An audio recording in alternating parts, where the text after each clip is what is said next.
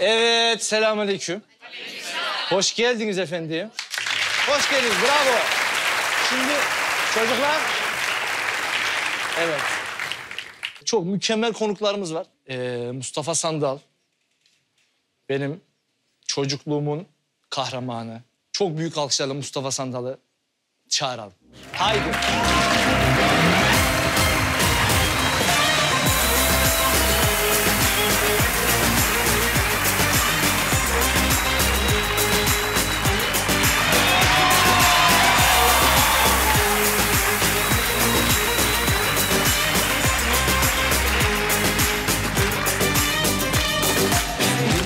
Benim etrafımda hiç kimse fark etmez. Aşk bu affetmez. Işıklarım sönerse Dönerim etrafımda hiç kimse fark etmez. Aşk bu göstermez. Rüyalarım biterse iyi dinle Duyarsın sesimi uzaklardan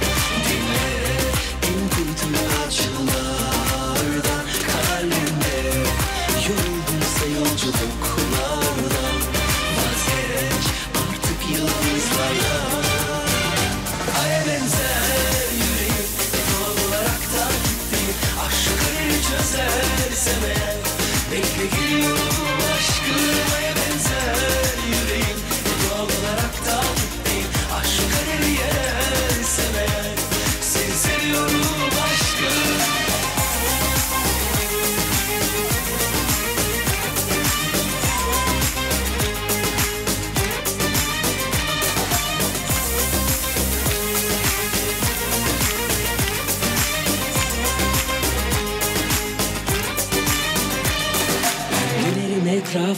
hiç kimse fark etmez. Aşk bu affetmez. Işıklarım sönerse Dönerim etrafında hiç kimse fark etmez. Aşk göstermez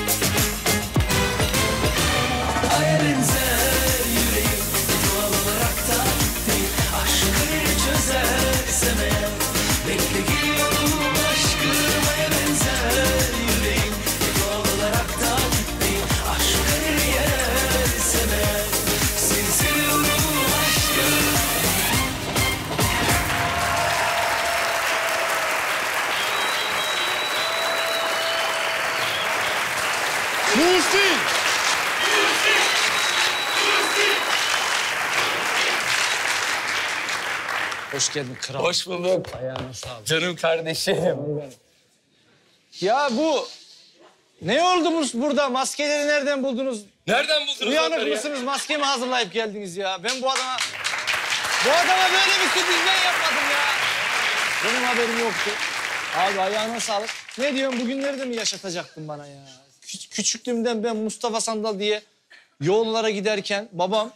eee biz Amasya'dan Erdek'e giderdik. Çünkü low budget tatil Erdek'te yapılır. Anneannemin evi Erdek'teydi. Gelirdim konser oralara biliyorum. Gelir miydin? Gelirim. Bodrum'sa ve tabii konserlere de o kadar hani ço- küçüktüm ki yani konsere gidecek şeyim yoktu. Abi ama yol boyunca senin şarkılarını hatta senin şarkılarını senden daha iyi bildiğimi de iddia ediyorum. Bunu da bunu da evet. Ya bunu rap Ay, bir şey söyleyeceğim. Bir şey söyleyeceğim.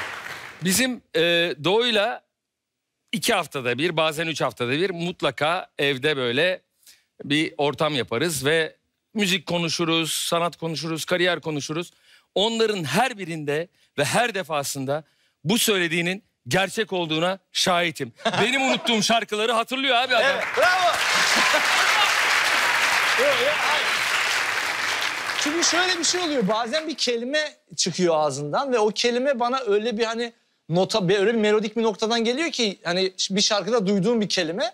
O şarkı çağrışım yapıyor. O kelimeden ben bir şarkıyı patlatıyorum Mustafa Sandal şarkısı. O da böyle bakıyor bana ulan ne diyor bu diye. Söylüyorum söylüyorum ondan sonra şey diyor. Ha detay. Abi hoş geldin ayağına Hoş sağlık bulduk ya. kardeşim benim. Hikayelerinizi anlatacağım. Hadi büyük alkışlarla alalım yoruma. Hoş geldin. Buyur abi şöyle. Evet bugün bir kral aramızda. O Estağfurullah yüzden abi o ne biçim kafamız, laf? Kafamız çok rahat. Şu Babacığım anda biz yıldız program- olmayı tercih etmedik. Biz aya benzer yüreğimiz dedik. O yüzden geç bu kral laflarını. Anladın mı? Vay be. Aya benzer yani yıldız değil uydu olmayı tercih ettim. Öyle mi? Yani biz samimi olalım, gerçek olalım. Genelde iyi olalım abi. İyi olmak için kalbimizi, yüreğimizi, samimiyetimizi ortaya koyalım.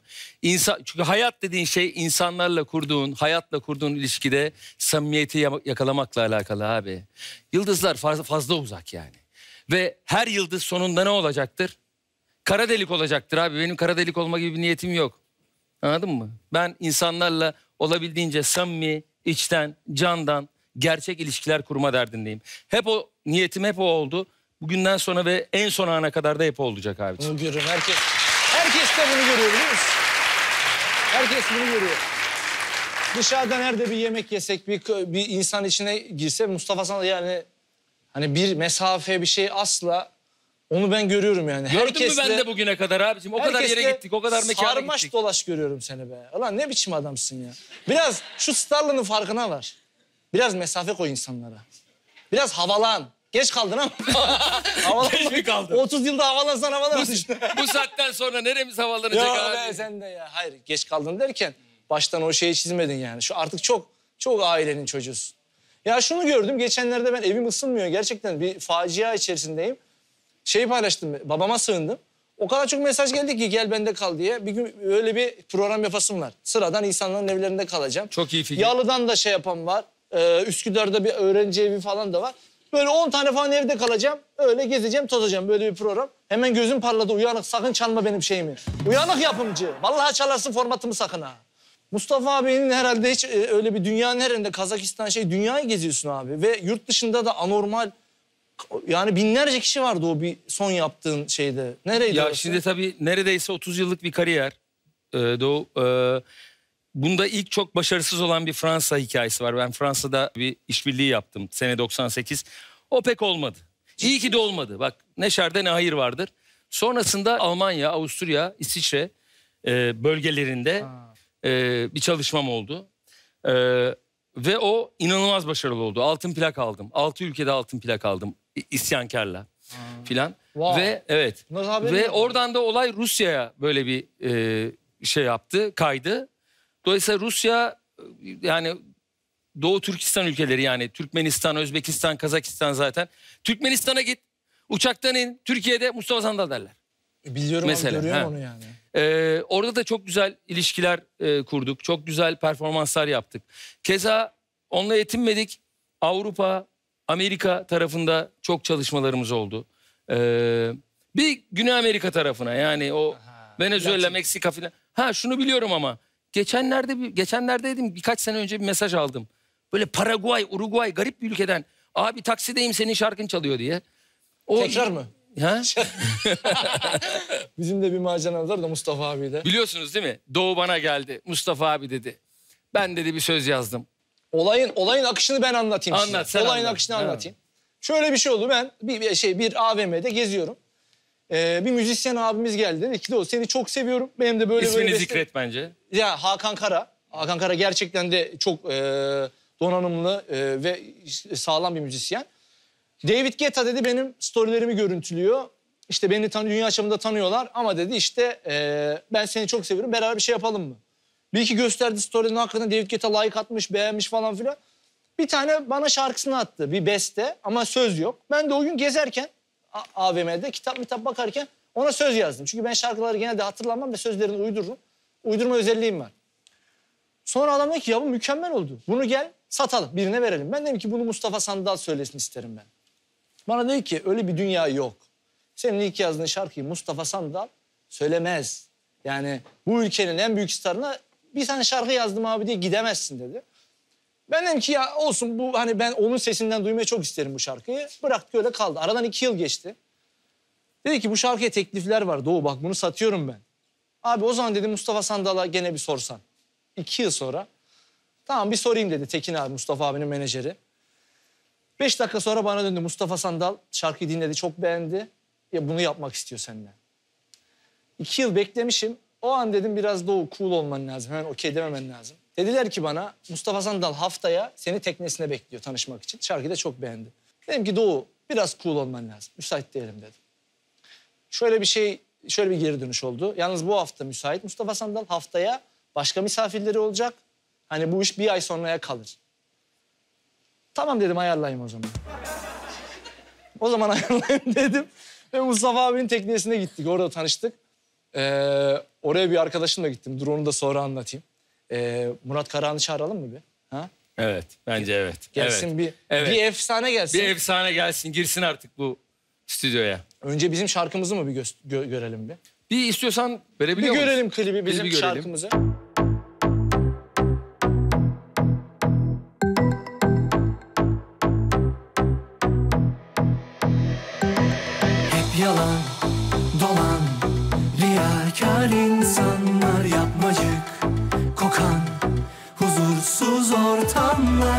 Hep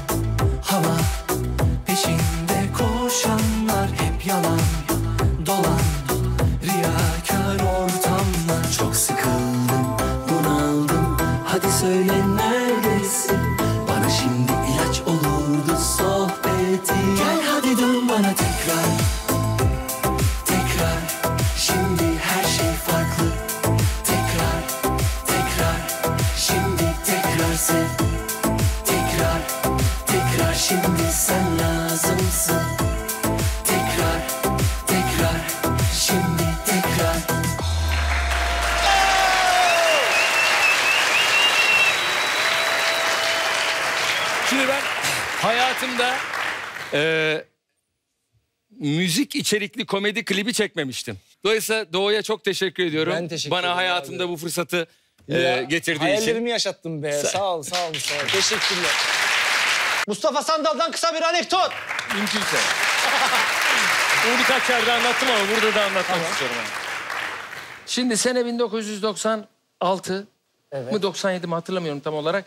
O zamanlar Rumeli Hisarı konserleri var abi. Nisan sen kaçlısın? 98 daha yokum. Sen yoktun yani.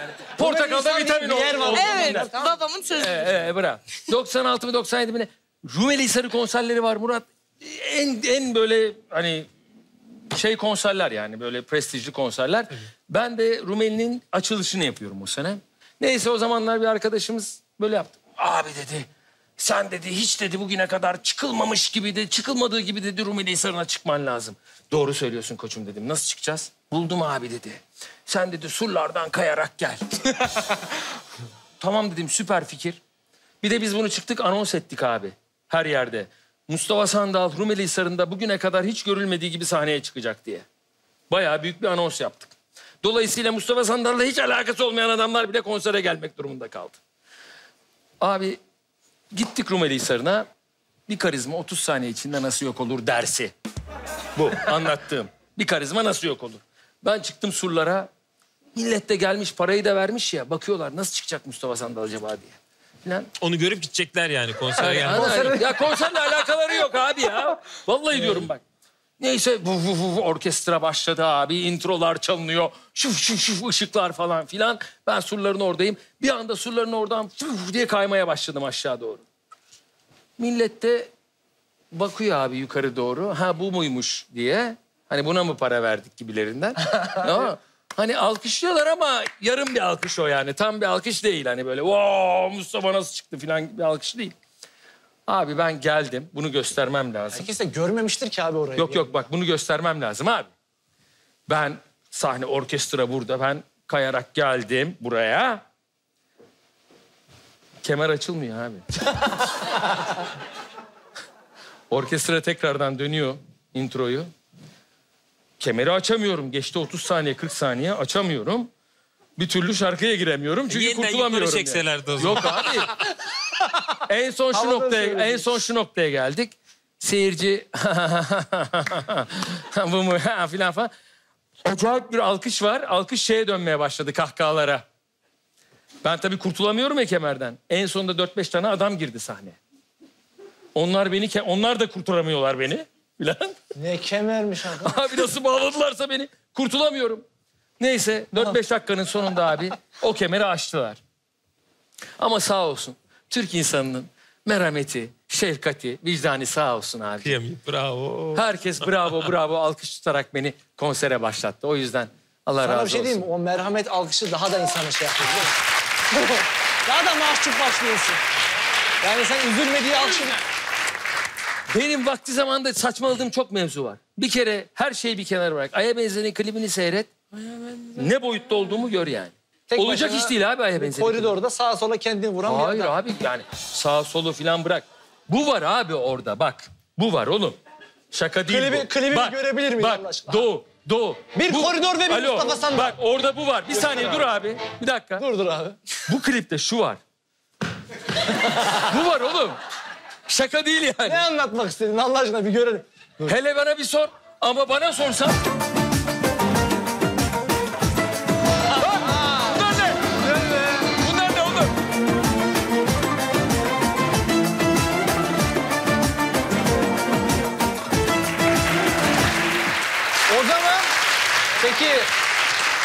dans demişken Mustafa Sandal'ın bize kattığı değişik dans figürlerinin hepsini bir görelim bakalım. Neler yapmışsın Michael Jackson'la yarıştığın dans dünyasında. Görelim kliplerinde neler var Mustafa Sandal'ın. Onun arabası var. Güzel mi güzel? Şoförü de var. Özel mi özel? Bastı gaza? Gider mi gider? Manesi ruhu Onun için hiçbir şansı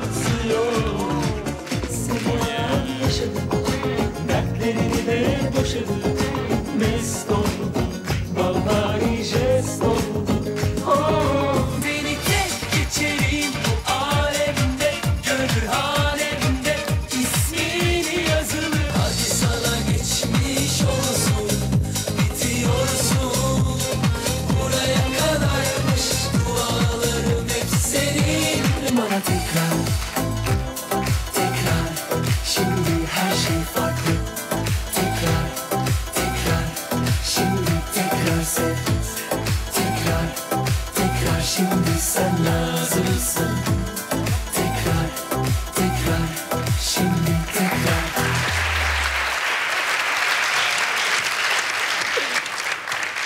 Hadi gel gelelim Mustafa Sandal.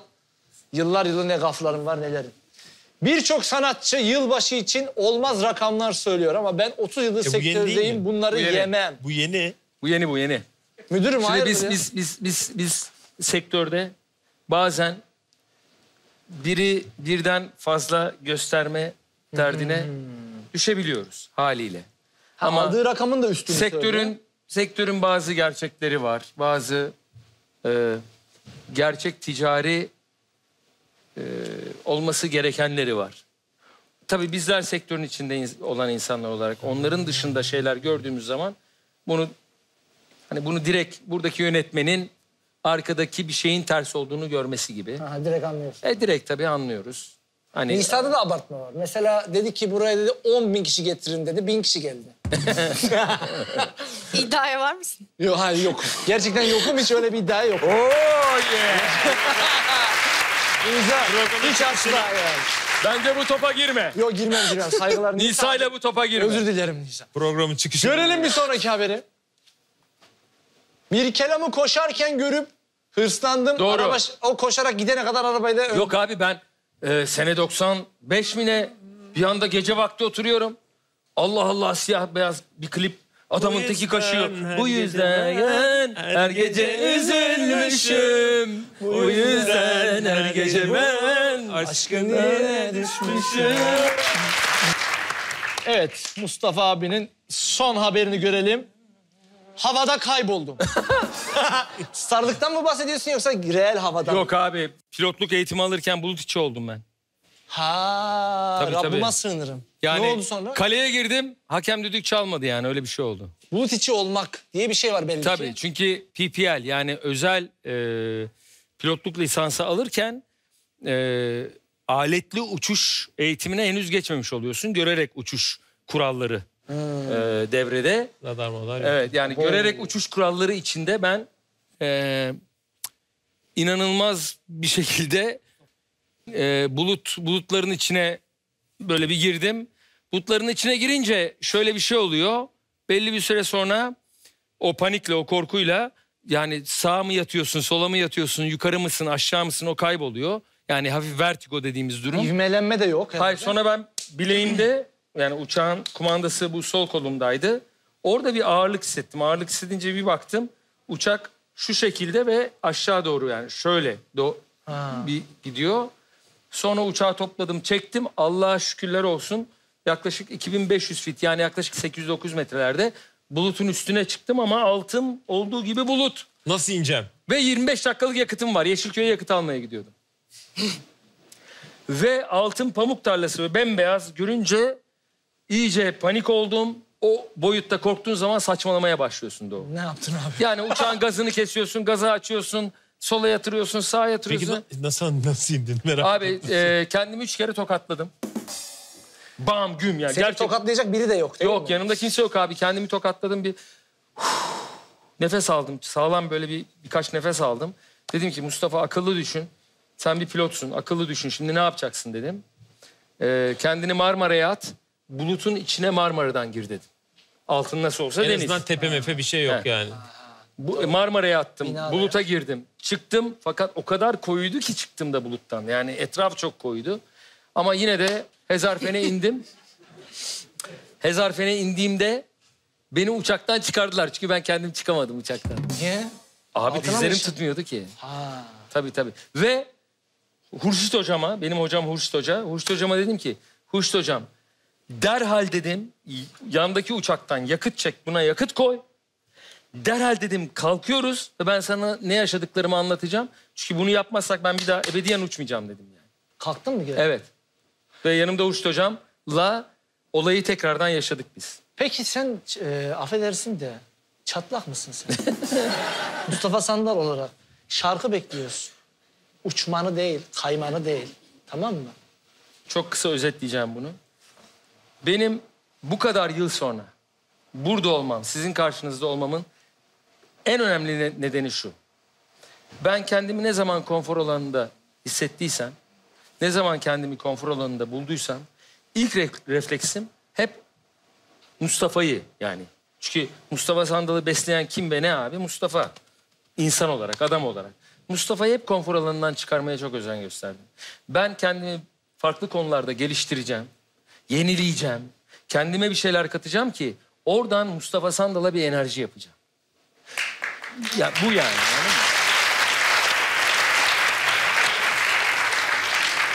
Hadi bakalım devam edelim.